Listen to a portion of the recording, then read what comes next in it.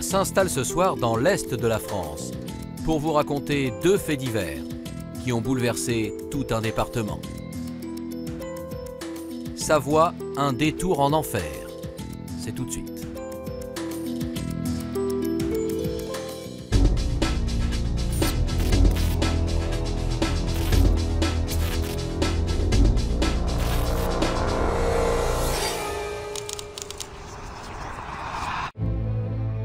Catherine est une mère de famille de cinq enfants, installée à Tonon-les-Bains, une commune située dans le département de la Haute-Savoie.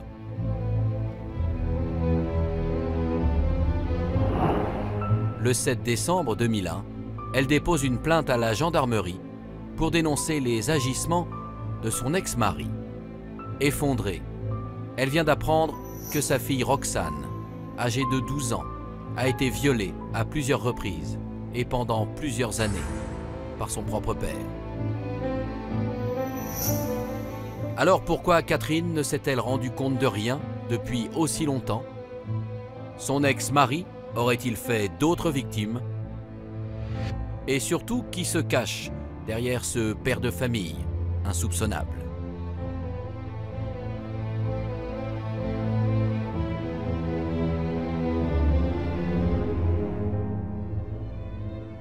Je sais qui est en face. Et je sais qu'à partir du moment où elle a parlé, elle est en danger. Mostafa a 52 ans et vit chez sa sœur à Chambéry, une ville de Savoie. Le 21 mai 2015, son corps est retrouvé mort dans un parc de la ville. L'homme a été massacré à coups de couteau. Sept mois plus tard, lors d'une soirée, c'est au tour d'Amir d'être attaqué à l'arme blanche. Mais par chance, l'homme, gravement blessé, arrive à s'enfuir et va donc pouvoir mettre les enquêteurs sur la piste d'un individu extrêmement étrange et tout aussi dangereux.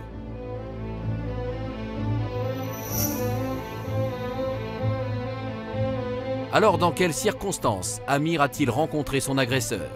Qui est cet individu? Qui attaque ses victimes à l'arme blanche Et surtout, les enquêteurs le retrouveront-ils avant qu'il ne passe une troisième fois à l'acte?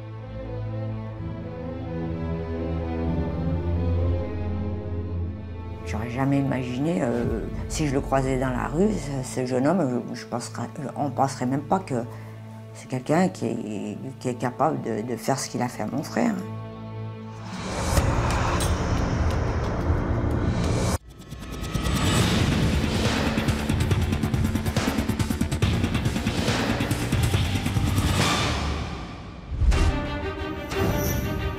Dans l'affaire qui va suivre, vous allez découvrir le combat acharné d'une mère et de sa fille pour obtenir justice. L'histoire d'une vie détruite par un homme pervers et manipulateur. C'était devenu trop à supporter, c'était trop intense. Moi j'en étais arrivé à un moment où je me suis dit là je, je peux plus. J'avais très peur de le revoir aussi. Je lui ai dit s'il apprend que j'ai parlé, il va me tuer.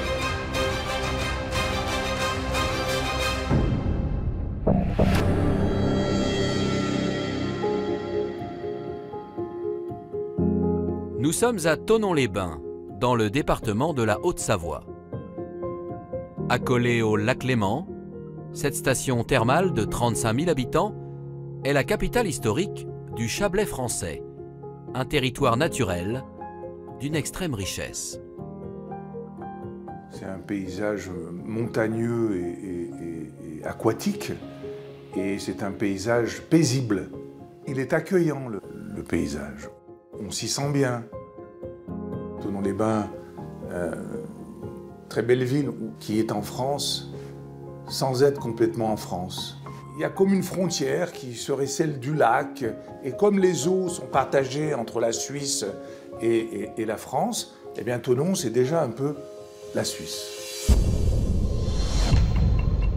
Mais le 7 décembre 2001, Catherine, une habitante de Tonon-les-Bains, va déposer plainte à 550 km de chez elle, dans le département de l'Aude. Je leur ai raconté ben, euh, tout depuis le départ. Voilà, euh, ma fille est victime de viol de la part de son père, dont je suis divorcée. Selon la mère de famille, ces faits ont été commis par son ex-mari, William, entre 1993 et 2000. Catherine remet aux gendarmes de Lézignan-Corbière un dossier de 80 pages qu'elle a réalisé avec sa fille Roxane. Il regroupe des signalements ainsi que des examens médicaux. La priorité, c'était protéger mon enfant. Euh, voilà, euh, faire un dossier, constituer le maximum de, de preuves, etc. Alors pourquoi Catherine porte-t-elle plainte à plus de 500 km de chez elle? Que va révéler Roxane, la victime présumée? Et quelle sera la version de son père?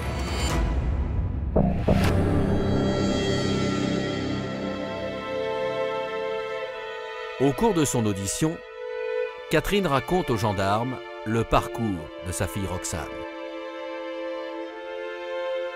C'était une enfant qui était proche de sa famille, proche des siens. Euh, euh, voilà, c'est une enfant euh, très facile avec qui on pouvait euh, discuter, euh, qui participait. euh, euh, voilà, on participait tous euh, au, au projet de la famille.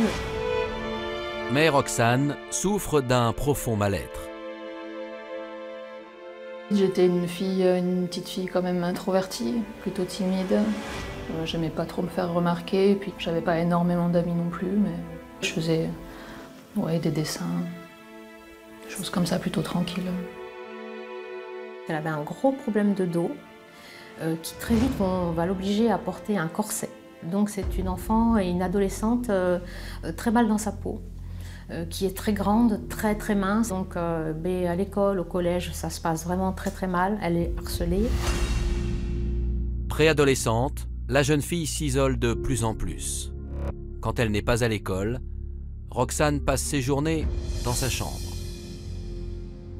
Et du coup, ben, euh, moi je pensais que ce renfermement était dû à ses problèmes de santé, à son corset. Elle voyait beaucoup de médecins. Enfin, je veux dire, c'était compliqué euh, à l'époque à gérer pour elle. euh. Ce n'est qu'à l'automne 2000 que Catherine découvre les raisons réelles de ce mal-être. Un soir de septembre, Roxane, alors âgée de 12 ans, se confie à une amie. C'était devenu trop à supporter, c'était trop intense. J'en étais arrivée à un moment où je me suis dit là, je, je peux plus quoi. Et le jour où j'ai annoncé ça à, à mon ami, le soir, j'étais censée aller chez mon père en fait. Et je voulais vraiment pas y aller, donc euh, je lui ai dit, je lui ai dit, il m'est arrivé ça et je veux pas, je veux pas y retourner. J'avais très peur de le revoir aussi. Je lui ai dit, s'il apprend que j'ai parlé, il va me tuer, donc. euh, Face à la détresse de Roxane, son ami révèle tout à sa mère, qui alerte ensuite Catherine. À l'époque, elle est séparée de William depuis 11 ans et ne se doute de rien. Je reste euh, complètement sidérée euh, par cette, euh, cette annonce. Je ne comprends rien. Le monde s'écroule sous mes pieds. Je suis, je suis incapable de faire quoi que ce soit. Je vais rester quand même pendant quelques heures comme ça à me dire mais c'est pas, pas possible quoi. C'est juste pas possible. Qu'est-ce que c'est que cette histoire? C'est quoi? Et euh, donc je vais aller voir ma fille qui dort. Je vais pas la réveiller. Je vais attendre le lendemain matin. Donc je passe une nuit blanche et j'attends qu'elle se réveille le lendemain matin. Et euh, donc elle, elle va venir me voir parce qu'elle elle sait que je suis au courant. Et je vais lui dire mais explique-moi qu'est-ce qui se passe. Et ma fille, la première parole qu'elle va me dire, elle me dit euh, je savais que tu me croirais pas. Et elle part en pleurs dans la cuisine. Donc je la rattrape et je lui dis si si je, je te crois. Et à partir de ce moment-là, je la prends dans mes bras et je lui dis euh, t'inquiète pas, on va trouver des solutions. Tu as bien fait de me parler, je te crois. Déroutée par la situation, Catherine recherche de l'aide auprès d'associations spécialisées. C'est par ce biais qu'elle rencontre des parents d'enfants victimes d'inceste. Et de là, euh, tous les parents vont me dire la même chose. Sur le tribunal de Tonon-les-Bains, euh, à chaque fois qu'il y a une plainte de portée, les plaintes sont classées systématiquement euh, sans suite. Ou alors l'enfant est remis au père agresseur. où placer. Donc je vais prendre conseil auprès d'un avocat, surtout dans les bains. Je vais lui raconter donc ma discussion avec les parents de victimes. Et lui va me dire oui, c'est de notoriété publique, et euh, c'est à charge contre la maman qui devient euh, manipulatrice, etc. L'enfant est en danger avec la mère, donc il faut euh, absolument qu'il soit séparé de la mère. L'avocat de Catherine lui conseille de quitter la ville avec Roxane et de déposer plainte ailleurs. Terrifiée par ce qu'elle apprend, la mère de famille renonce à entamer des poursuites judiciaires et décide de partir avec sa fille, le temps de faire le point. Catherine laisse son nouveau conjoint et ses autres enfants.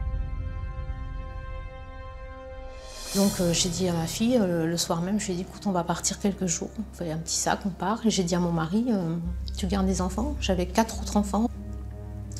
Donc il a arrêté son travail, il s'est mis en arrêt maladie et il a gardé les enfants et nous on est partis. Voilà, on est partis chez des amis dans un premier temps. Mais si Catherine a choisi l'exil, c'est avant tout pour protéger sa fille.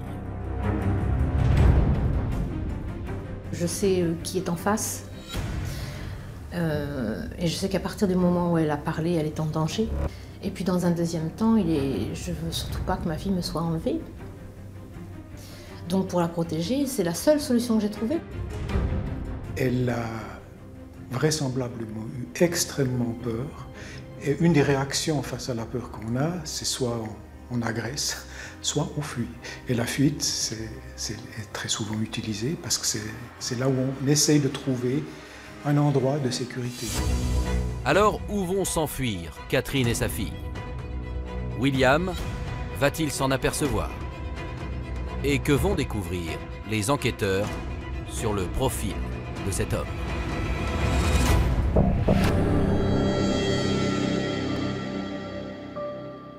Au bout de plusieurs semaines d'errance, Catherine et sa fille de 12 ans font la rencontre d'un propriétaire de centre équestre dans le Var.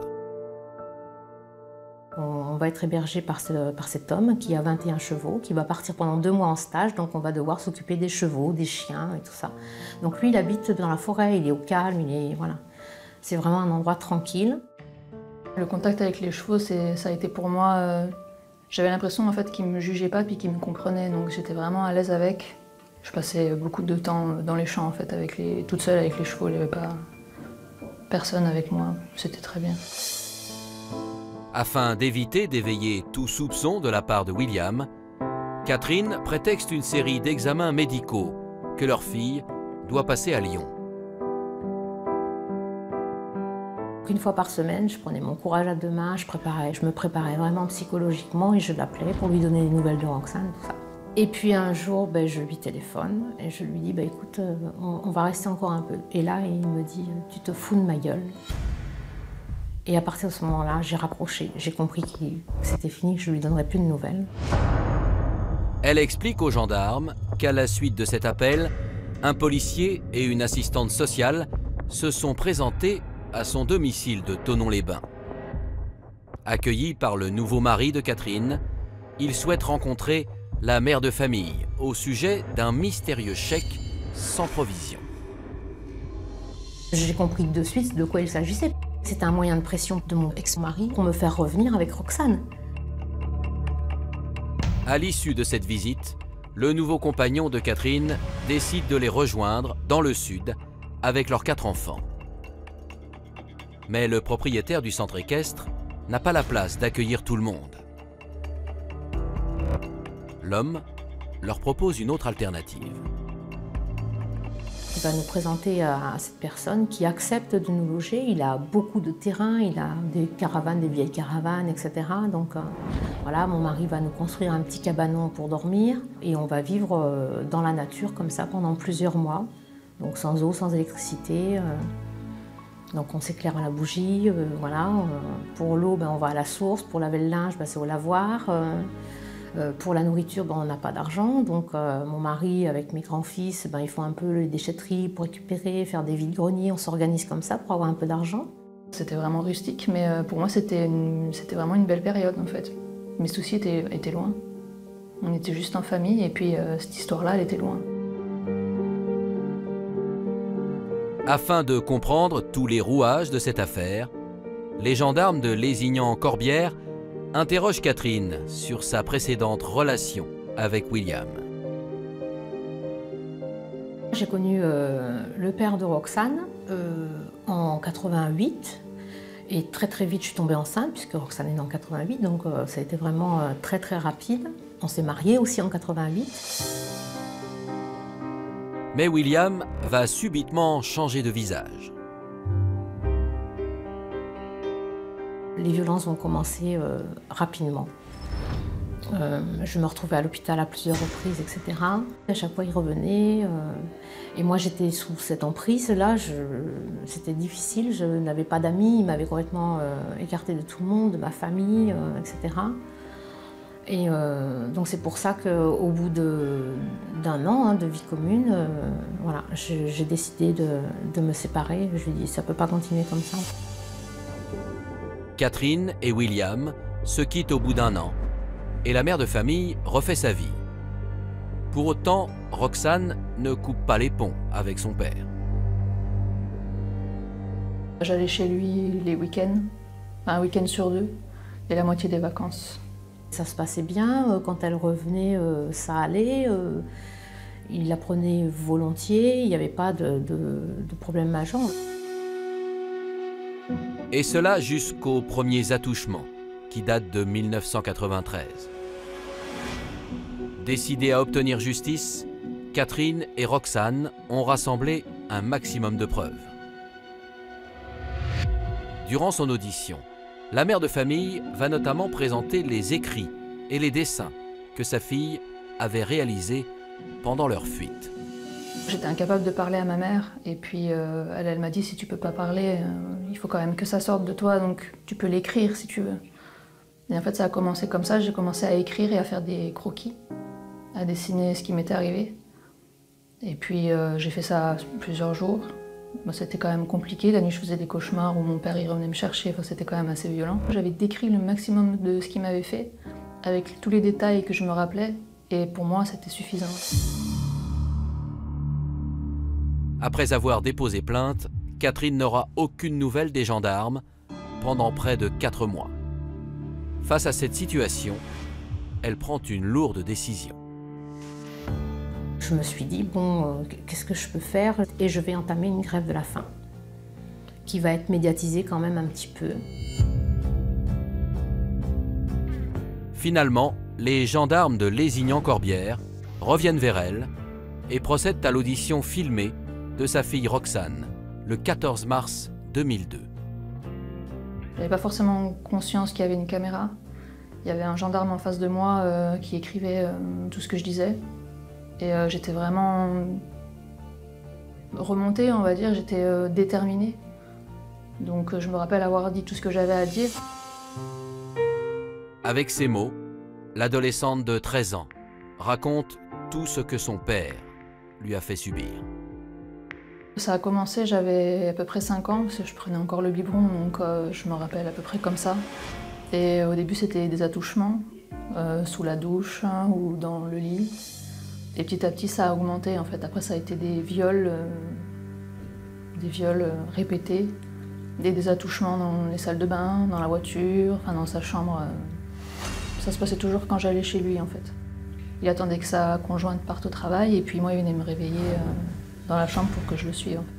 En fait, dans sa façon de fonctionner, il était jamais brutal, jamais méchant. C'était toujours on va jouer à un jeu, on va s'amuser, on va faire un truc marrant, on va faire un truc rigolo. Il me disait bah, je vais mettre la télévision, puis tu regardes la télévision en même temps, puis euh, voilà, comme ça, ça peut quand même rester amusant. C'était vraiment faire diversion pour arriver à ses fins. La jeune fille met beaucoup de temps à comprendre que son père abusait d'elle.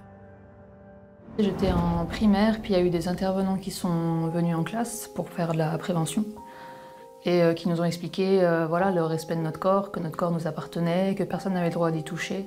Et c'est là que j'ai compris qu'en fait, il y avait un truc qui, qui allait pas. Et euh, ils nous avaient appris une chanson Mon corps, c'est mon corps, ce n'est pas le tien. Et je l'avais chanté à mon père, mais il n'avait pas, pas réagi. Si Roxane réalise la gravité des faits, elle n'ose toujours pas en parler. J'avais honte. J'avais l'impression que c'était de ma faute en fait, que c'est moi qui faisais quelque chose de mal. Donc il fallait surtout pas que ça se sache. Oui, je l'aimais et puis je pensais pas à mal euh, de lui. Donc euh, je le voyais pas comme je le vois aujourd'hui, par exemple. En 1999, son père lui promet d'arrêter et la supplie de ne rien dire. Il venait en pleurant et en me disant faut pas que tu parles, sinon papa ira en prison. Donc c'est vraiment mettre la faute dessus en fait. Si, si, si je parle, il ira en prison à cause de moi, pas à cause de lui. Alors comment se déroulera l'audition de William? Fera-t-il des aveux? Et cet homme cache-t-il d'autres secrets?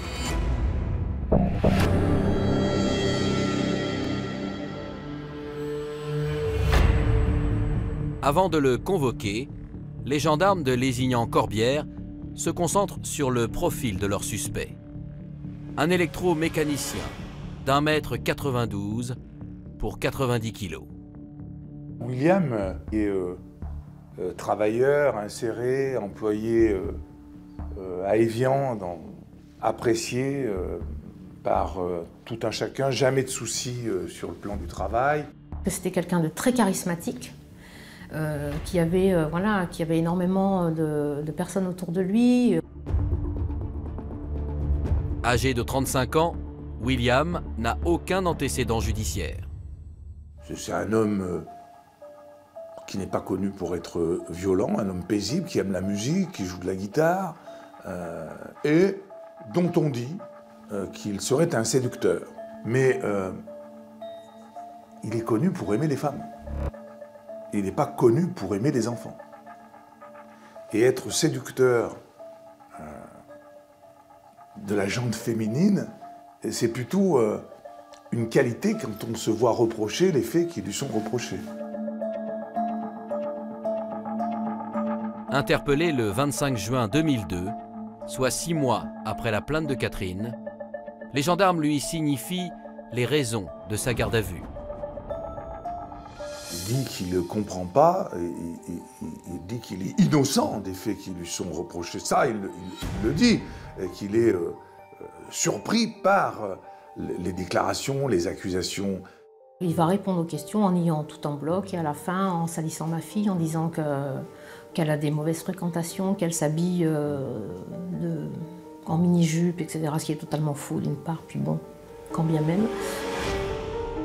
Sans compassion pour sa fille de 13 ans, le père de famille va même jusqu'à se lamenter sur son propre sort. Quand il est effondré, c'est parce qu'on l'accuse lui, hein, et jamais il est effondré euh, de savoir que sa fille était victime de viol.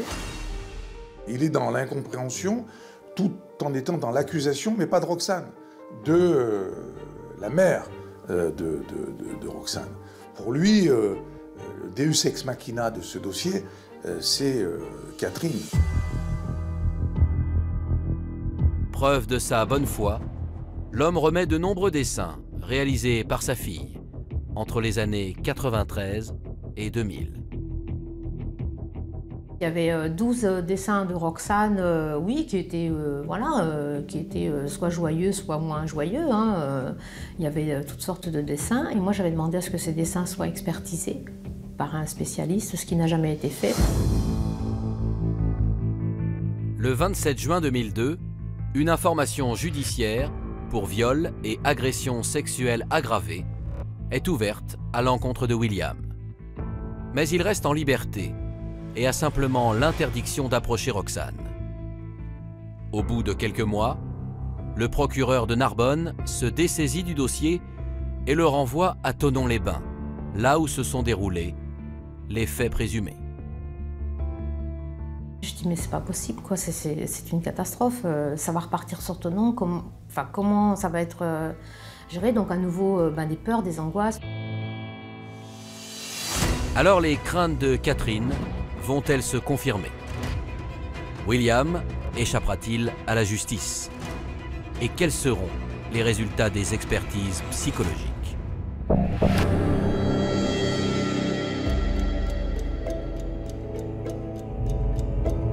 Au mois de septembre 2002, Catherine et Roxane sont convoquées par le juge d'instruction de Tonon-les-Bains. mais elles ont le sentiment de ne pas être entendues. J'ai reçu 10 minutes dans le bureau et puis euh, je me suis sentie jugée. En fait, j'avais l'impression que c'était moi la coupable et qu'à part me dire euh, c'est grave les accusations que tu portes, au lieu de me dire c'est grave ce qu'on t'a fait, c'était vraiment dans le sens c'est grave ce que tu es en train de dire. Et euh, bon, du coup, moi je me suis refermée, j'ai pas voulu parler plus que ça avec et puis j'ai maintenu ma version et je suis sortie du bureau, mais c'est tout. Ensuite, l'adolescente de 14 ans est soumise à différentes expertises psychologiques. J'ai vu euh, une psychologue euh, avec qui j'étais quand même assez à l'aise et j'avais l'impression qu'elle me prenait au sérieux, donc j'ai pu parler en confiance. Je suis sortie de là, j'étais contente. Je me suis dit, bah, j'ai pu me libérer, je me sens bien, on, on m'a écouté, on m'a cru, et en fait, pas du tout. L'expert dit qu'il y a un décalage entre sa réaction et les réactions, entre guillemets, habituelles des victimes d'abus sexuels.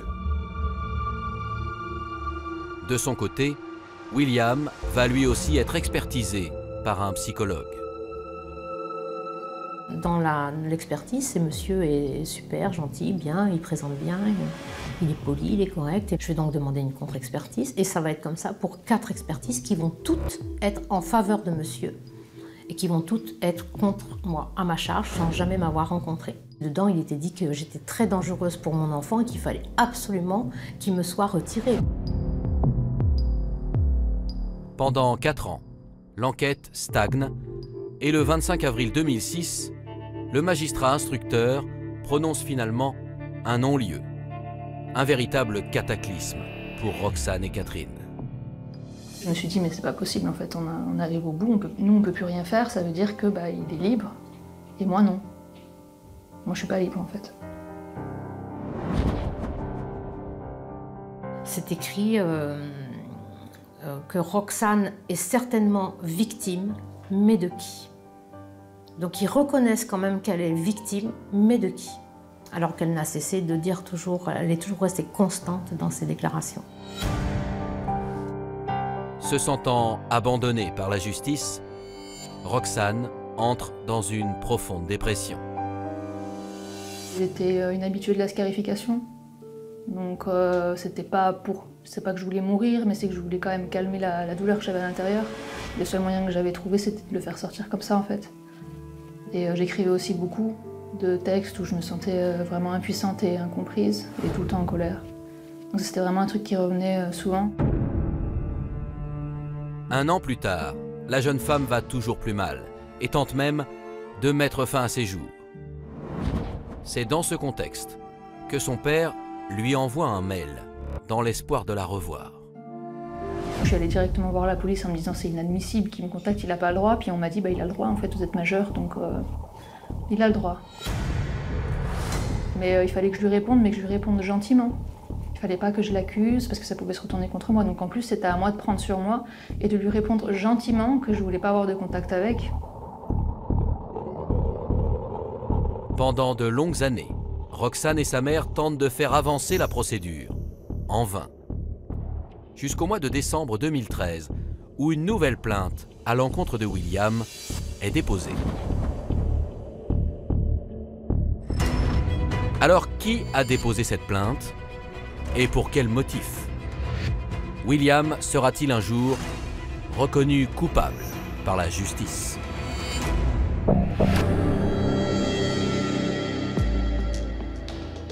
Le 26 décembre 2013, les gendarmes de Tonon-les-Bains recueillent le témoignage d'une jeune fille de 11 ans que nous appellerons Camille. C'est son père qui a donné l'alerte après qu'elle se soit confiée à lui. Elle dit qu'elle a le souvenir que dès ses 3-4 ans, euh, au contact de, William, euh, ben, il cherche les caresses, il a un comportement euh, spécial vis-à-vis d'elle. Et après, elle décrit ben, des scènes qui sont bien plus sordides. Donc, il y a à la fois agression sexuelle, la force à faire des fellations, etc. Tout quand même sous le domaine en même temps du jeu. William n'est autre que le beau-père de Camille une enfant qui semble très perturbée par ce qu'elle a vécu. C'est une petite fille euh, qui euh, fait beaucoup plus jeune que son âge. Lorsque je la vois la première fois et qu'elle est assise euh, chez le juge d'instruction, à 11 ans, elle touche à peine les pieds par terre. C'est-à-dire qu'en fait, elle est vraiment toute petite, petite. Elle faisait 8-9 ans à l'époque, même pas. Les enquêteurs apprennent également que depuis 2009, William vit avec la mère de famille et ses deux grandes sœurs, âgées de 13 et 16 ans. Fort de cette information, ils les entendent au plus vite. Nous avons avoir confirmation euh, par elles qu'elles euh, étaient victimes de la même manière que, que Camille et des mêmes faits. Deux semaines plus tard, William est interpellé à son domicile et placé en garde à vue.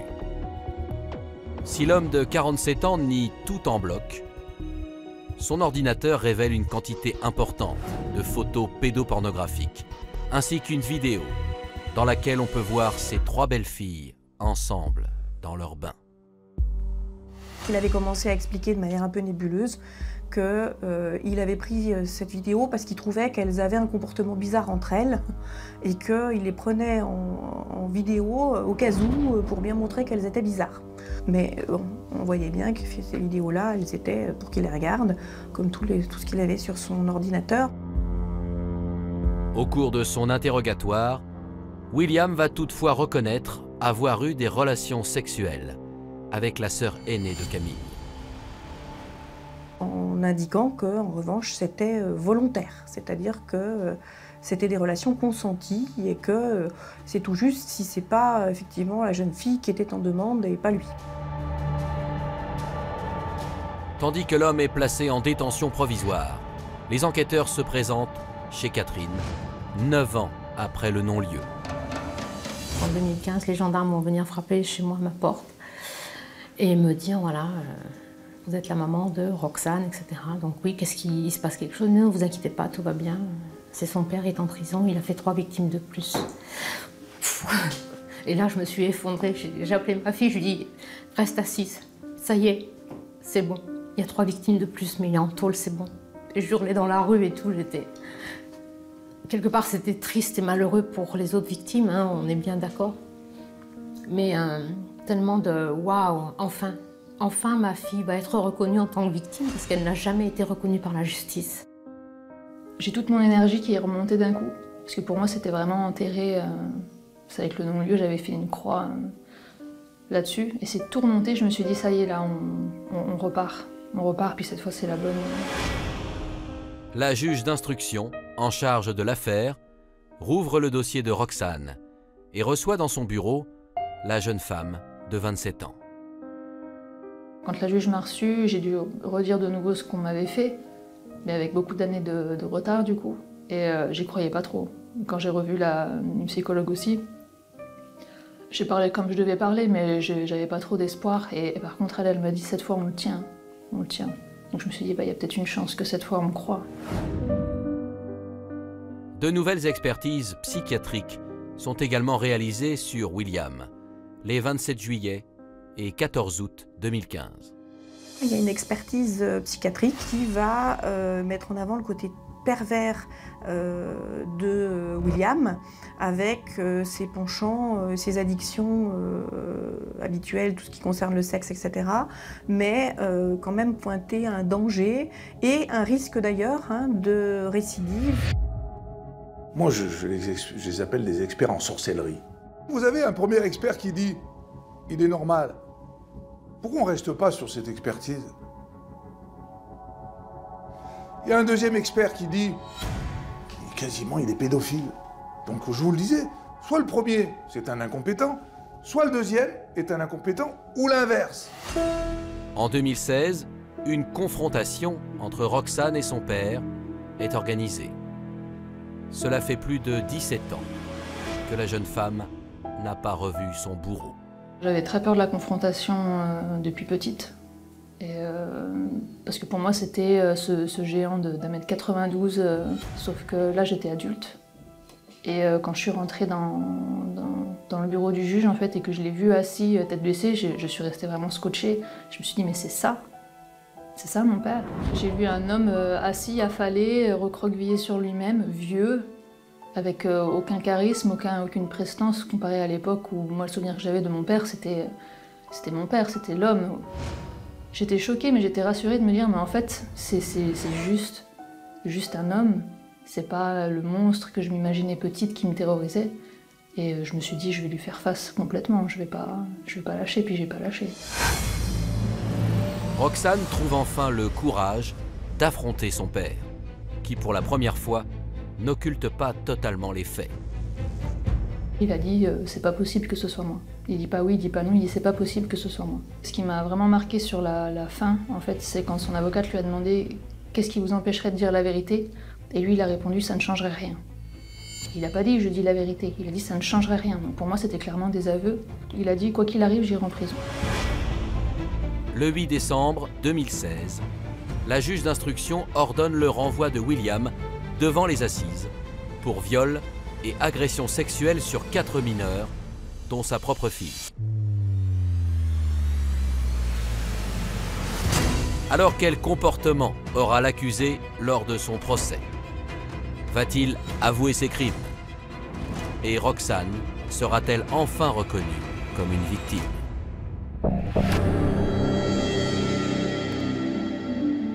Le 2 avril 2017, presque 16 ans après la plainte de Catherine, le procès de son ex-mari s'ouvre à Chambéry. Roxane retrouve celui qui a détruit une partie de sa vie et découvre les trois autres victimes. Quand on est arrivé dans la salle, je me suis mise juste derrière en fait, j'ai compris que c'était elle mais je n'osais même pas y aller. Euh, je n'osais pas leur parler puis euh, c'est une des filles qui s'est retournée puis qui a commencé à parler avec moi. Et du coup, après, on a quand même pu être proches le long du procès. Mais c'est vrai qu'au début, euh, je n'osais pas. J'avais tellement honte que je ne savais pas si je pouvais y aller. À l'image des autres jeunes filles, Roxane a soif de justice.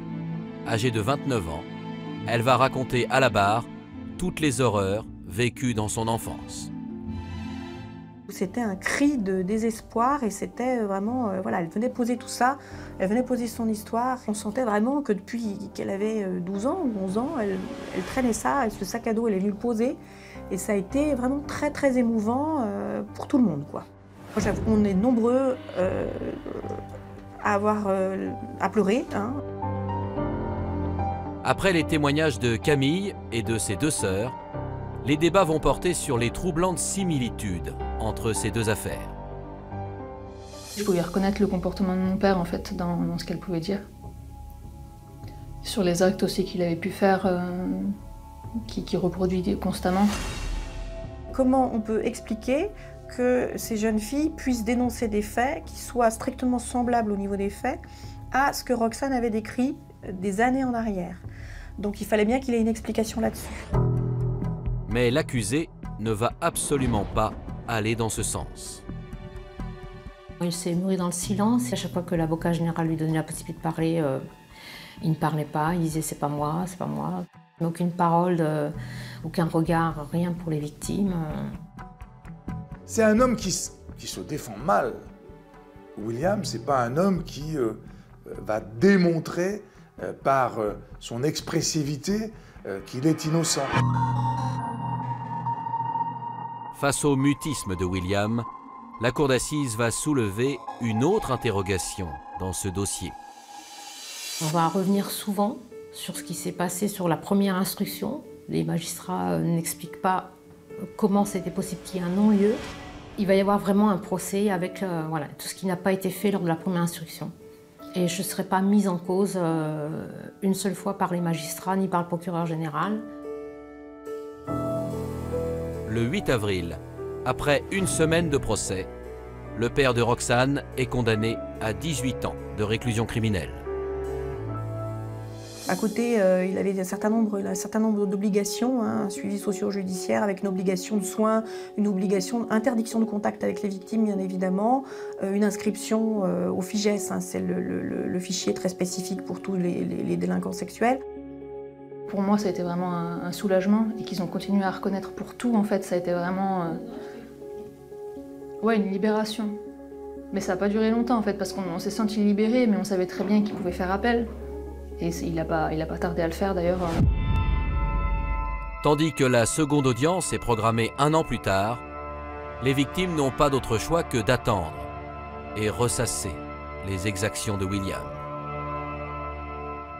Alors entre les deux procès, ce qui s'est passé, c'est que je pensais aller mieux, et en fait pas du tout. J'ai fait une, rechute euh, monumentale. Euh, Je revivais sans cesse euh, les scènes avec mon père, et euh, je me suis dit là, il faut que je demande de l'aide parce que ça allait vraiment pas. Traverser une telle procédure demande énormément de courage parce que la victime va être reconfrontée à tout ce qu'elle a vécu par les questions que vont lui poser les juges, les avocats. Et ça entraîne très souvent des retraumatisations. Roxane va alors consulter un psychologue et suivre un traitement adapté à ses angoisses. La victime a la possibilité de retraiter l'information blessante et de faire en sorte que quand elle pense à la situation d'une certaine manière, les émotions soient tranquilles.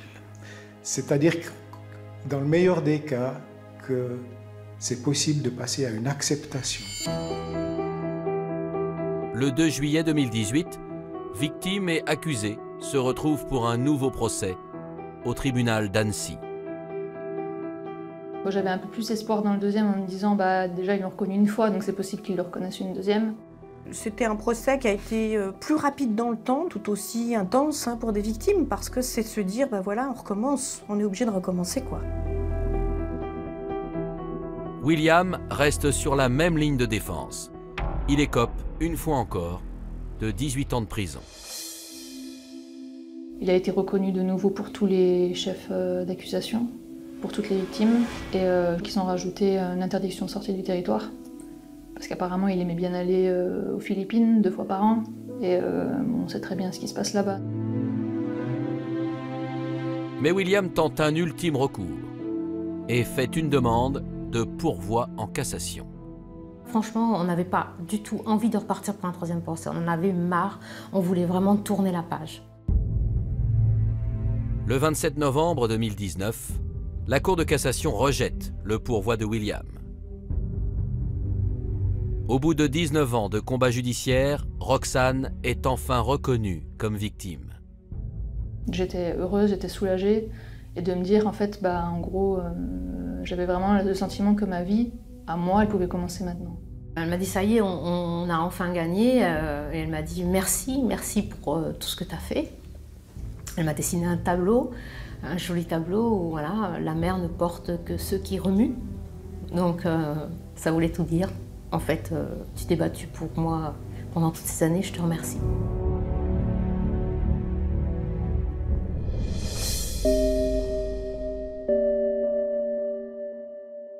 Aujourd'hui, après des années de souffrance, Roxane peut enfin se concentrer sur elle-même et profiter de sa fille, âgée de 6 ans.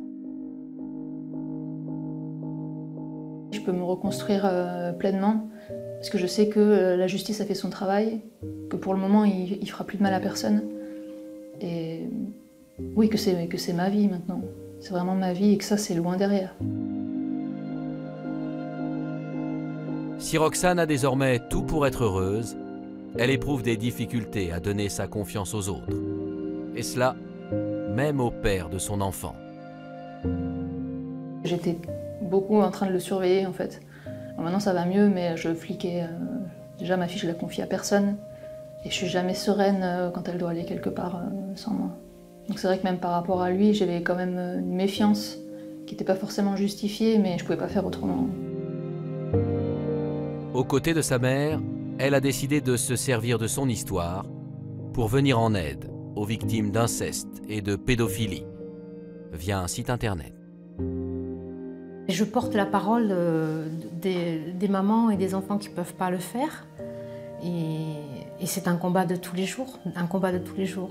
Mais je ne pourrais pas vivre sans, je suis incapable de, de vivre une vie entre guillemets euh, normale, euh, boulot, métro, dodo, voilà. Le réel combat, il est toujours là en fait. Il ne s'arrête jamais.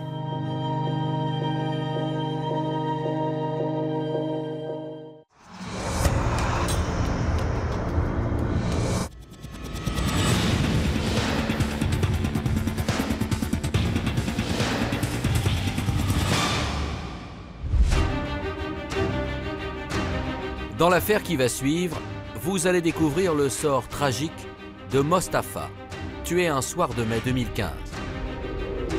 Un meurtre sauvage qui mettra les policiers de Chambéry sur la piste d'un individu hors norme. C'est vrai qu'on se dit que finalement il n'y a peut-être pas de mobile à ce meurtre, que c'est peut-être euh, bah, le début d'une série, euh, d'un tueur en série.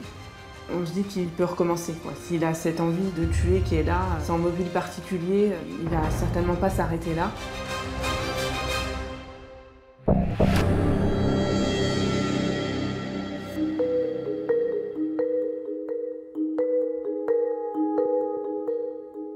Nous sommes à Chambéry, dans le département de la Savoie.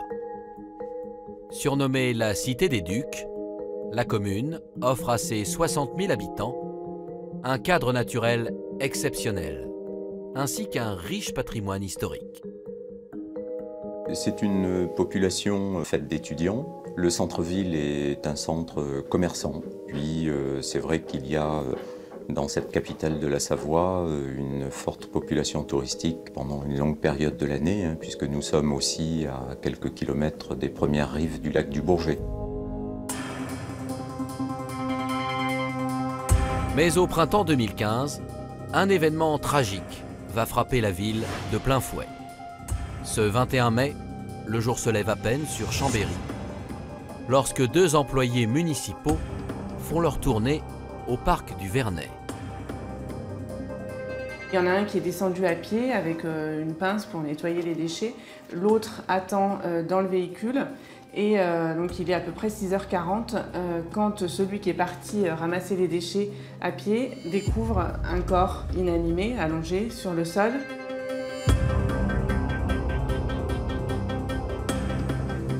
Paniqué, l'employé contacte immédiatement les services de police de la ville, qui arrivent sur place quelques minutes plus tard.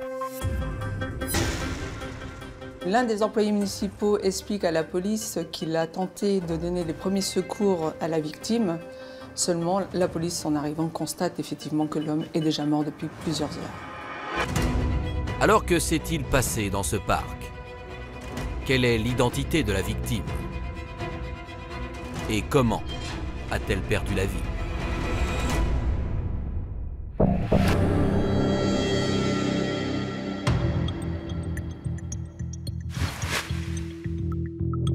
Dans le parc du Vernet, situé à quelques mètres seulement du palais de justice, les enquêteurs procèdent aux premières constatations sur le corps de la victime. Il est euh, sur le dos, il a reçu plusieurs coups de couteau euh, sur la poitrine, euh, dans la nuque et au visage. Et plus étrange, le pantalon baissé sur les chevilles. Ça, ça interpelle tout de suite les enquêteurs au début de l'enquête. On peut penser du coup à une agression sexuelle, D'autant plus que le parc du Vernet est connu à Chambéry pour son activité nocturne. C'est un endroit où les homosexuels se rencontrent. C'est aussi un endroit où on sait qu'il y a de la vente de produits stupéfiants. Donc il pouvait effectivement y avoir eu euh, un échange et puis un règlement de compte. En fouillant les vêtements de la victime, les enquêteurs parviennent à l'identifier grâce à sa carte de bus. L'homme s'appelle Mostafa. Il a 52 ans. Ses proches, et notamment Farida, sa sœur aînée, sont aussitôt informés. J'ai pas du tout réalisé. Hein. Sur le coup, euh, je réalisais pas. Ils m'ont dit euh, on est de la police. Euh, là, sur le coup, je, dis qu'est-ce qui se passe? Mais je pensais pas du tout à la mort de Mustapha du tout. Hein. Et, après, quand ils me l'ont dit, ben, je réalisais pas. Tandis que Farida assure aux policiers que son frère n'avait pas d'ennemis, les enquêteurs de Chambéry inspectent minutieusement le parc du Vernet. Mais aucun indice n'est retrouvé sur place. Les policiers vont essayer d'étendre le périmètre d'investigation et vont trouver un témoin qui habite dans un immeuble voisin du parc du Vernet. Ce témoin va leur indiquer que le hall de son immeuble est fréquemment occupé par des squatteurs et que la fameuse nuit du 20 au 21, il a entendu euh, diverses voix Par contre, il est incapable de déterminer le ton de la voix, si euh, c'était des cris ou des paroles un peu fortes, et euh, n'a pas entendu non plus la teneur des paroles échangées. Le 22 mai 2015, au lendemain de la macabre découverte, l'autopsie du corps de Mostafa est réalisée à l'Institut médico-légal de Grenoble. L'autopsie va révéler que l'homme a reçu 28 coups de couteau à l'abdomen et au cou. Notamment, euh, il a des plaies au poumon, euh, des plaies hépatiques et également au tube digestif. Euh, le médecin légiste estime que la lame du couteau avec lequel le meurtrier a donné les coups a 8 cm de long. Cinq jours plus tard, les analyses toxicologiques sont transmises aux enquêteurs. Elles vont révéler d'une part un taux d'alcoolémie euh, très important, hein, euh, environ 2,04 g par litre de sang, hein, ce qui révèle un taux d'alcoolisation très important, massif, et puis euh, l'usage de médicaments de type anxiolytique ou utilisés pour le traitement de maladies d'ordre psychotique.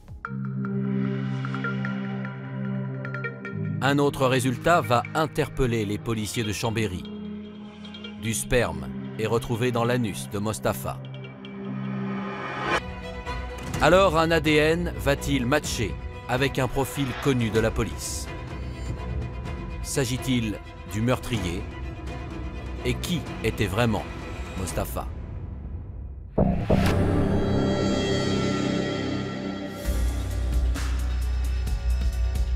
À Chambéry, les policiers apprennent que l'ADN retrouvé ne correspond à aucun profil enregistré au FNEG, le fichier national des empreintes génétiques. À la recherche d'une nouvelle piste, les hommes de la police judiciaire réalisent une enquête de personnalité sur la victime. Mostafa est né le 30 décembre 1963 à la Bridoire, un petit village à 25 km approximativement de Chambéry. C'est l'un des enfants d'une famille de 11. C'est un garçon plutôt respectueux, de bonne humeur, qui aime la vie, euh, auquel on ne trouve rien à reprocher. Il fait ses études, il décroche un BEP de secrétaire dactylo, puis s'en va euh, à Lyon avec des amis et enchaîne à ce moment-là des petits boulots. Mais à l'âge de 30 ans, Mostafa est diagnostiqué bipolaire. Il avait des délires et euh, il voyait des choses que nous, on ne voyait pas. Des fois, il me disait, ben, je vois une ombre. Euh, euh, dehors, des fois, il me disait qu'il voyait quelqu'un alors qu'il n'y avait personne. Des choses comme ça, quoi.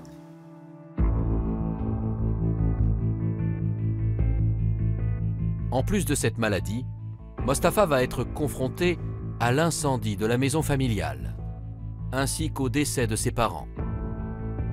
Profondément marqué par ces événements, l'homme se réfugie peu à peu dans l'alcool.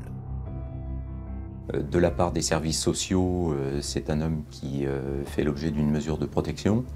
Il vit avec tout juste une soixantaine d'euros par semaine. Donc il est dans un cadrage médical avec le soutien d'une sœur à Chambéry qui s'occupe de lui autant qu'elle le peut et des difficultés qui sont récurrentes. Hein. Il ne s'en sort pas. Oui, c'est un naufragé de la vie.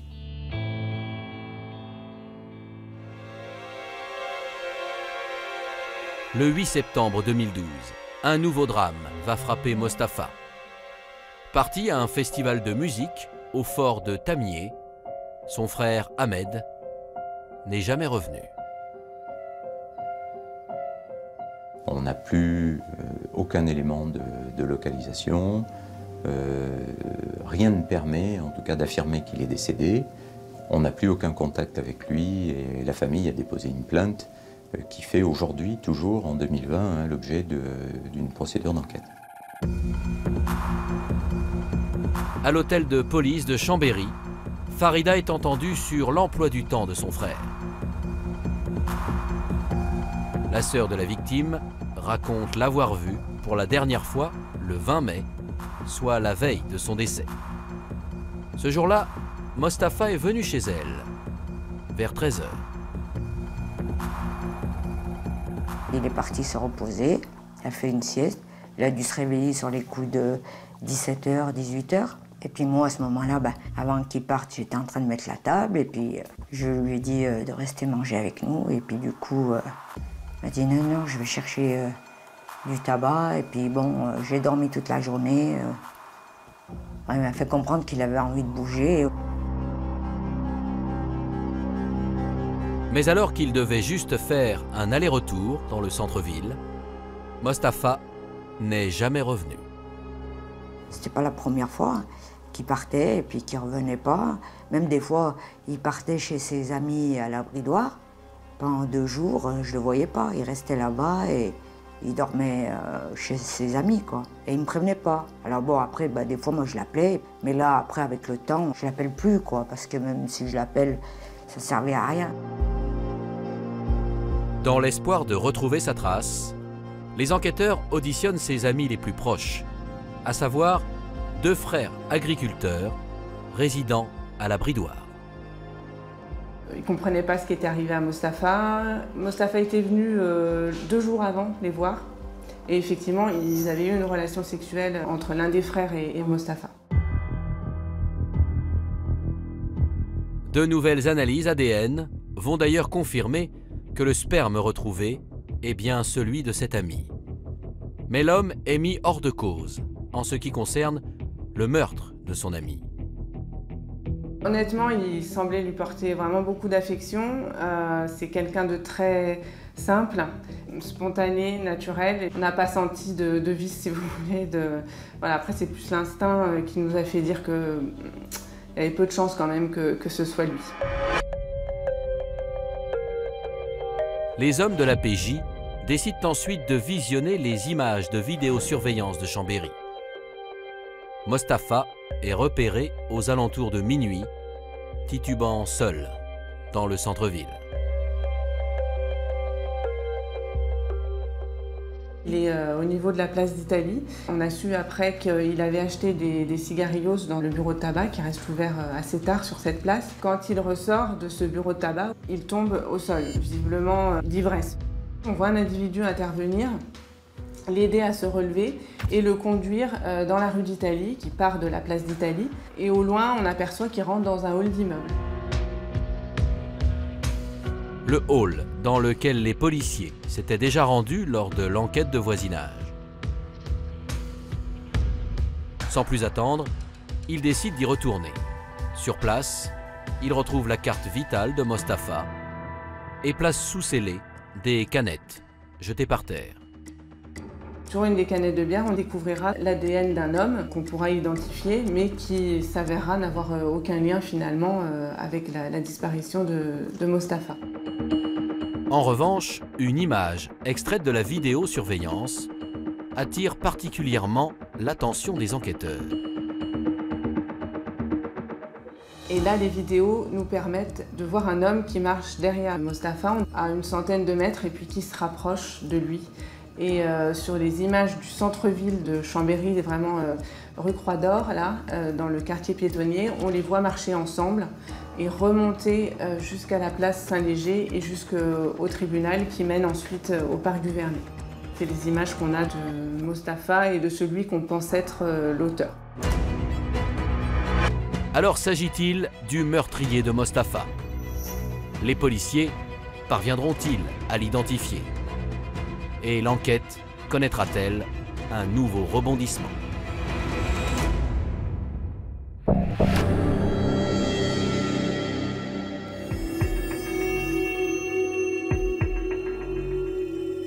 Sept mois plus tard, tandis que l'enquête stagne, un événement va avoir lieu à Tonon-les-Bains, une station thermale située à 120 km de Chambéry.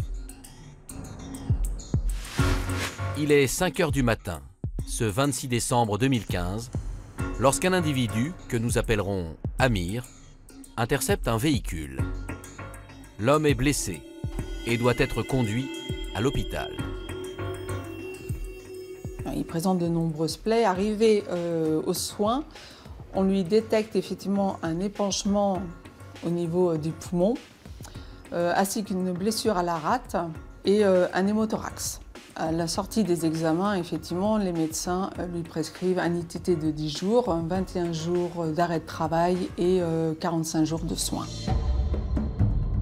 Deux jours après sa prise en charge, le 27 décembre 2015, l'homme de 33 ans porte plainte au commissariat de Tonon-les-Bains. Face aux enquêteurs, il fait le récit de son inquiétante soirée. Amir a passé la soirée de Noël du 25 décembre 2015 en compagnie d'un certain Adrien qu'il a rencontré dans un bar de Tonon-les-Bains et qu'il a invité à poursuivre la soirée donc, euh, chez sa mère, à Tonon-les-Bains également. À peine arrivé dans l'appartement, Amir réalise que son hôte est extrêmement préoccupant. Adrien commence à avoir des réflexions un petit peu bizarres. Et euh, il finit carrément par lui dire qu'il a tué quelqu'un. Et pour lui prouver qu'il a vraiment tué quelqu'un, il sort une coupure euh, d'article de presse du Dauphiné et il lui montre l'article qui relate euh, la mort de Mustapha dans le parc du Vernet et il lui dit c'est moi. Amir, il y croit pas. Quel auteur de meurtre viendrait dire au premier inconnu qu'il croise c'est moi qui ai tué un mec dans le parc du Vernet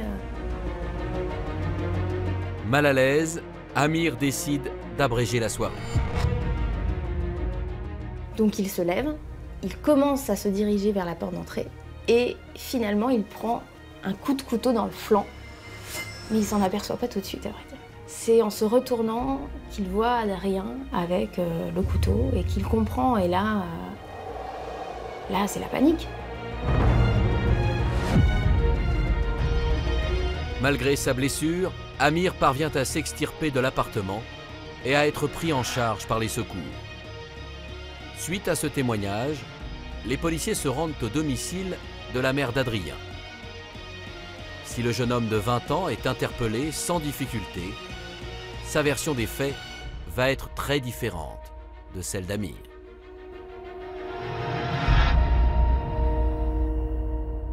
Il va lui expliquer qu'il aurait en fait euh, avoué à Amir être homosexuel. Et donc on peut supposer qu'il lui aurait euh, fait des avances. Amir se serait fâché, l'aurait poussé au sol et c'est en se relevant en fait que Adrien aurait saisi un couteau dans l'intention de se défendre. Il assède également qu'Amir l'aurait frappé à coups de poing et c'est toujours en se défendant effectivement qu'il lui aurait porté les fameux coups de, couteau. Contrairement à ce qu'a révélé Amir aux enquêteurs, Adrien nie formellement être l'auteur du meurtre de Chambéry. En parallèle de cette garde à vue, les policiers décident d'inspecter l'appartement de la mère du suspect. Il y a des traces de sang euh, dans l'allée qui conduit euh, au domicile. Il y a des traces de sang dans l'appartement, mais tout a été nettoyé. Et donc il va falloir utiliser cette technique du Blue Star pour mettre en évidence les traces de sang. Et Adrien banalise la situation en disant qu'il n'a pas voulu, euh, à travers les quelques traces qui euh, étaient présentes dans l'appartement, inquiéter euh, ni ses parents, ni sa sœur. Donc il a tout nettoyé. Le 30 décembre 2015, Adrien est alors mis en examen du chef de violence volontaire aggravée et placé sous contrôle judiciaire. Ce jeune homme est-il le meurtrier de Mostafa? Y a-t-il un lien entre ces deux affaires? Et que vont découvrir les enquêteurs sur Adrien?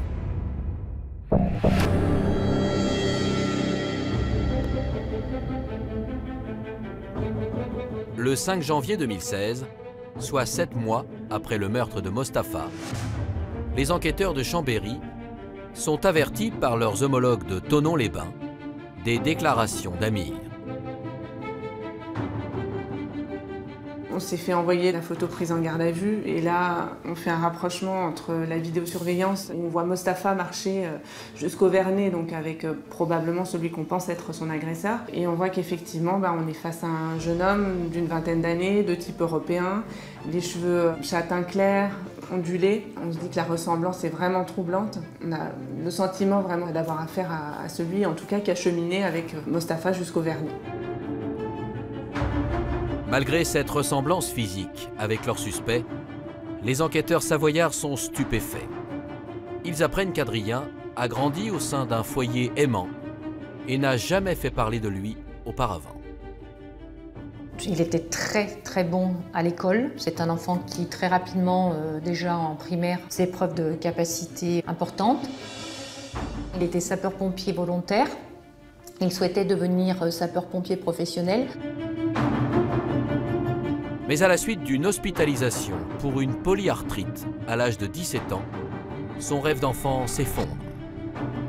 Adrien commence alors à se renfermer de plus en plus sur lui-même. Ce mal-être a commencé principalement à se ressentir à l'adolescence et qui s'est accru avec les années. Donc un mal-être avec des douleurs qu'il ressentait, qu'il n'arrivait pas à analyser comme des pulsions, hein, qu'il a, découvert euh, par la suite, et qui faisait bah, qu'il était, qu'il était mal, qu'il se renfermait. Avec les années, les pulsions d'Adrien prennent de l'ampleur. Et l'étudiant en psychologie va même jusqu'à se scarifier pour extérioriser son mal-être il s'automutile parce qu'il dit qu'à ce moment-là, ça lui permet de décompenser son instinct meurtrier et de lutter contre cette espèce de besoin qu'il a de passer à l'acte. Mais un autre élément attire fortement l'attention des enquêteurs. C'est son profil sur les réseaux sociaux qui va interpeller les policiers de Chambéry. En effet, ils vont découvrir que celui-ci fait référence à des personnages sombres, à des films noirs, et notamment euh, à des tueurs en série, comme Hannibal Lecter dans Le silence des agneaux. Il fait mention également d'un personnage d'Orange Mécanique, mais surtout, surtout au Joker de Batman. Et les policiers vont découvrir que a l'habitude d'emprunter le rouge à lèvres de sa mère pour se grimer en Joker et accentuer les traits de la grimace de celui-ci.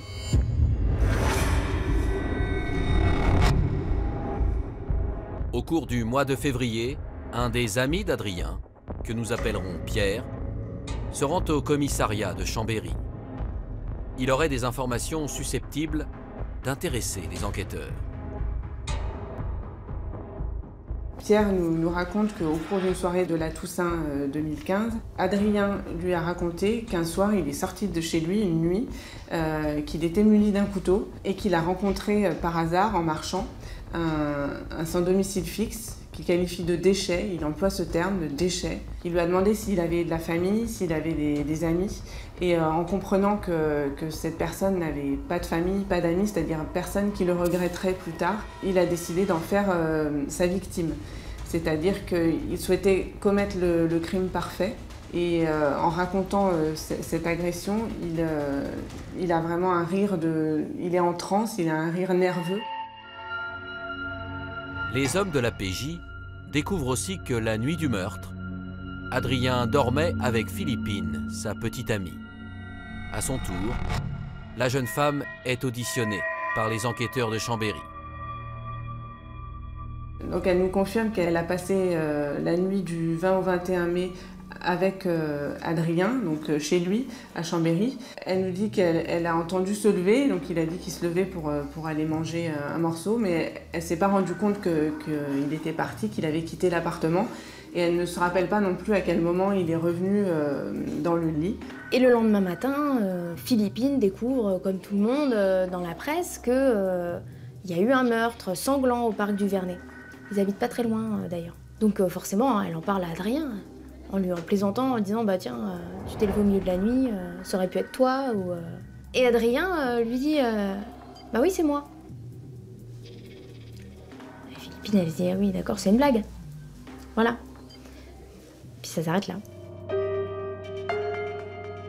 Lorsque les enquêteurs lui montrent les images des vidéosurveillances capturées le soir du meurtre, le constat de Philippine est sans appel.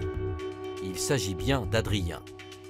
Pour autant, la géolocalisation de son téléphone portable ne permet pas de retracer son parcours.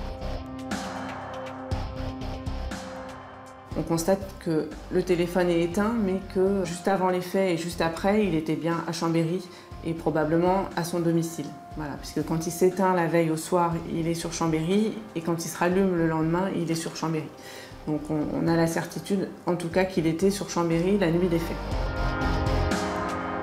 Ajoutez à cela les témoignages d'Amir, de Pierre et de Philippine. les enquêteurs sont persuadés de tenir leur homme.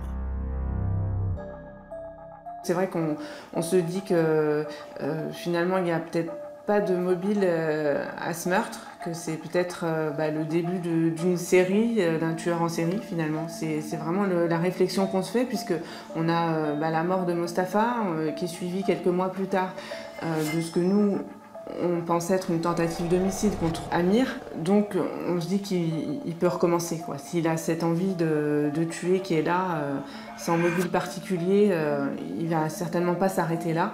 Euh, donc on décide de l'interpeller le plus rapidement possible.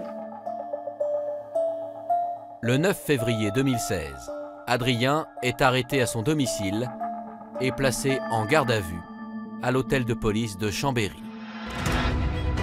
Alors que va déclarer le suspect face aux enquêteurs? Est-il le meurtrier de Mostafa? Et pourquoi aurait-il agi de la sorte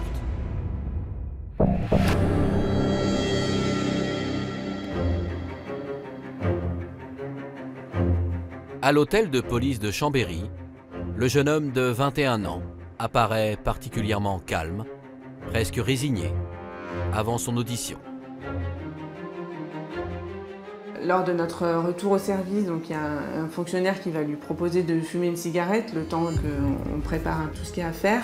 Et là, à ce moment-là, il va se confier spontanément, il va dire bon ben voilà, je savais que la police allait intervenir chez moi. Enfin, il va reconnaître spontanément les faits euh, à ce moment-là.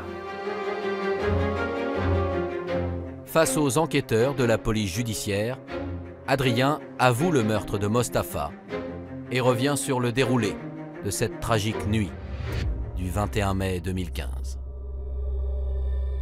Il est rentré dans tous les détails de, euh, du fait en fait qu'il s'était levé cette nuit-là parce que ses pulsions meurtrières étaient devenues tellement fortes qu'il avait besoin de sortir et qu'il a pris un couteau en se disant euh, bah, peut-être je vais tuer quelqu'un, mais il savait pas. Alors il nous dit qu'il sort à la fois pour marcher, alors en espérant que, que l'envie de tuer passe, mais à la fois il sort pour euh, essayer de trouver une victime. Enfin, il est un peu partagé entre ces deux, ces deux envies. Assailli par ses pulsions morbides, le jeune homme erre dans les rues désertes du centre-ville de Chambéry. Il marche euh, plusieurs minutes, donc euh, de chez lui jusqu'à la rue de la République. Hein, il y en a peut-être pour 20 minutes, une demi-heure. Et c'est là qu'en marchant, il aperçoit au loin Mostafa euh, il le dépasse et là, Mostafa demande à Adrien une cigarette et il lui demande également la direction de la gare parce que Mostafa a consommé beaucoup d'alcool, il est désorienté et il ne sait plus retourner à la gare, à l'endroit où on l'a déjà vu plusieurs fois sur les vidéos euh, au début de soirée. Donc Adrien se propose de l'accompagner, de lui montrer. Euh, et au final, il s'arrête dans le square du Vernet pour discuter, s'asseoir sur un banc. Et là, Adrien lui demande T'as des enfants? T'as une famille Et c'est euh, la question qui fera basculer en fait l'avenir de Mustapha, parce qu'il a le malheur de dire non. Adrien raconte que Mostafa, ivre et sans le sou, lui a inspiré de la pitié. Pour lui, cet homme de 52 ans devait mourir rapidement. Instinctivement, il a sorti un couteau de sa veste et l'a frappé directement dans l'œil, pensant ainsi atteindre le cerveau. Finalement, euh, Mustapha euh, se relève, le regarde et lui dit Mais qu'est-ce que tu fais? Enfin, Mustapha, visiblement, malgré l'ivresse, euh, a un sursaut de, vie et ne comprend pas ce qui se passe. Et Adrien lui répond Je vais te tuer. Il lui dit comme ça, froidement Je vais te tuer. Adrien se jette sur sa victime et lui assène 27 autres coups de couteau. Il quitte les lieux du crime et laisse agoniser Mostafa, seul, au milieu de la nuit. Il prend euh, le sac à dos euh, et le couteau, il conserve le couteau. Il va les cacher en rentrant chez lui dans le grenier de son immeuble. Il nous explique que quelques jours après, deux, trois jours plus tard, il est retourné chercher ses affaires Il a essayé de regarder ce qu'il y avait dedans quand il a vu qu'il n'y avait vraiment rien d'intéressant. Il est allé les jeter dans la poubelle en bas de son immeuble. Et évidemment, euh, le délai étant passé, les poubelles ont été vidées, donc euh, il n'y avait plus moyen de retrouver ni le sac à dos de Mustapha, ni le, couteau euh, qui a été utilisé par Adrien. Malgré le récit détaillé du meurtre de Mustapha, le jeune homme est incapable d'expliquer son geste. Adrien nous, confirme qu'il n'y a, absolument aucun mobile, euh, si ce n'est l'envie de tuer, euh, de savoir ce que ça fait de tuer, et euh, en tuant, avoir ce sentiment de se sentir vivant en fait. Il nous confirme qu'il ne connaissait pas la victime, qu'il n'y a pas eu donc, de différends entre eux, que bon, bah, ils ont marché ensemble, ils ont discuté, mais que ça s'est bien passé. Il n'y a pas eu d'agressivité de, la part de Mostafa qui aurait pu justifier bah, un retour d'agression de la part d'Adrien. Un meurtre gratuit qui a été nourri et fantasmé par Adrien depuis de longues années. À force de se documenter sur les tueurs en série, l'idée euh, lui est venue d'expérimenter à son tour.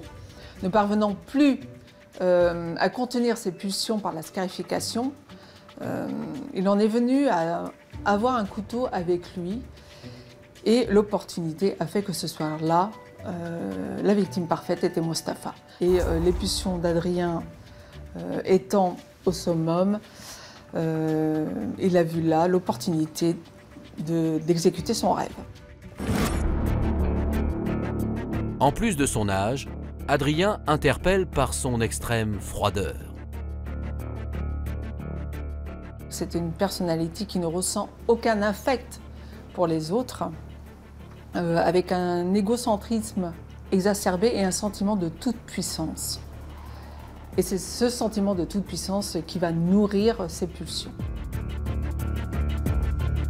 Les psychiatres qui l'ont rencontré lors de sa détention provisoire recommandent la mise en œuvre d'un traitement neuroleptique ainsi que d'un suivi médical pour le reste de sa vie. Ils vont également alerter sur le caractère psychotique d'Adrien. Beaucoup d'auteurs décrivent la grande perversité comme une façon de se défendre contre des éléments délirants ou psychotiques. Et là apparaît vraiment une espèce de fragilité psychique qui a amené à parler d'une altération qui est juste, mais pas d'une abolition, parce qu'il sait parfaitement ce qu'il fait. Il, il, se vante même d'avoir tué quelqu'un. Il n'est pas fou dans le sens euh, pathologique du terme, dans le sens de ne plus savoir, de ne plus avoir de discernement. Discernement, il l'a. Mais il a quand même une psyché qui est altérée, c'est incontestable. Alors comment se déroulera le procès d'Adrien? Les familles des victimes supporteront-elles de se retrouver à quelques mètres de lui?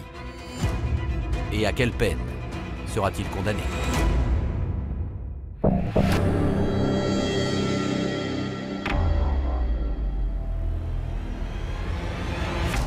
Le lundi 27 janvier 2020, soit cinq ans après la mort de Mostafa et l'agression violente d'Amir, le procès de l'étudiant en psychologie s'ouvre devant les assises de Savoie, à Chambéry.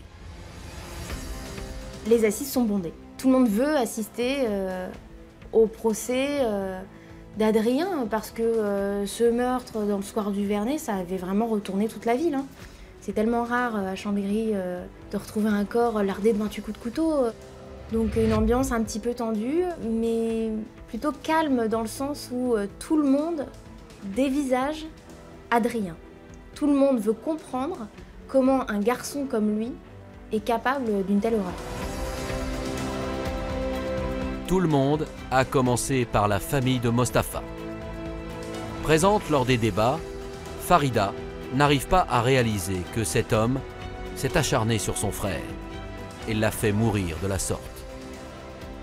J'aurais jamais imaginé, euh, si je le croisais dans la rue, ce, jeune homme, euh, je penserais, euh, on ne penserait même pas que c'est quelqu'un qui est, capable de, de faire ce qu'il a fait à mon frère.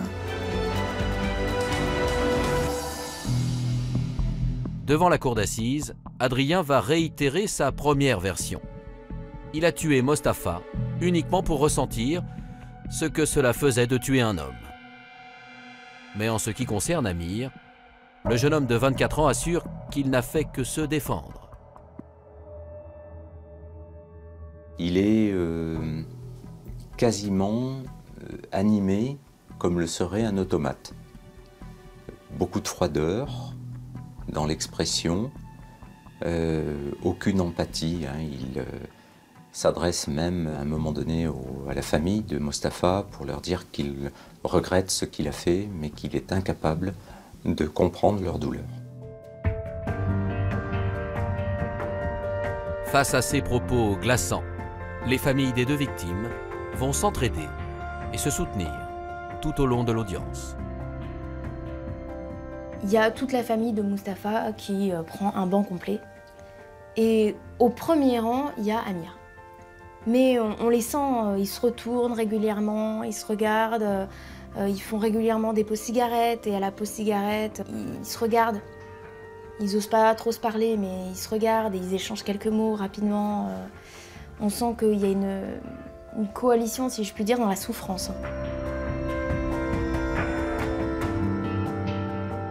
Le vendredi 31 janvier 2020, après cinq jours de procès, Adrien est condamné à 25 ans de prison pour meurtre et tentative de meurtre, avec un suivi socio-judiciaire de 15 ans à sa sortie de détention. J'ai jamais vu ça. Jamais. Le verdict tombe, tout le monde se lève, forcément. Et là, la famille de Mustapha, toutes ses sœurs, se dirigent naturellement vers les parents d'Adrien, qui sont euh, déchirés, hein, déchirés. Et tout le monde se prend dans les bras. Et je me revois euh, regarder euh, l'avocat des sœurs de Mustapha, Maître Cataldi, et on, s'est regardé en se disant, mais c'est incroyable en fait, que d'une affaire si sordide puisse ressortir autant d'humanité. Parce que en fait, on parlait vraiment d'humanité. Hein. C'était tout le monde accordait son pardon et tout le monde accordait, ses excuses et, tout le monde les acceptait, ce qui est franchement très rare à la fin d'un procès aux assises.